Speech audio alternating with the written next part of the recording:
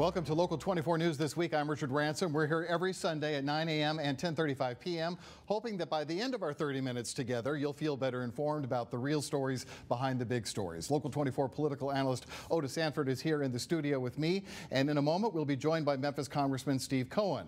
Lots to talk about with him from voting rights legislation, COVID stimulus funding, and ongoing security threats at the U.S. Capitol.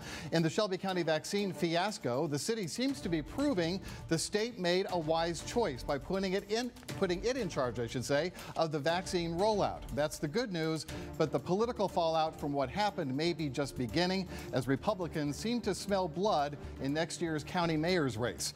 Mississippi's mask mess. President Biden accuses governors in the Magnolia State and the Lone Star State of Neanderthal thinking for lifting their mask mandates. And MLGW's power play. CEO JT Young says it's time for the utility to turn out the lights on the possibility of leaving the Tennessee Valley Authority, citing our recent blast of winter weather as proof electricity is more than just a commodity.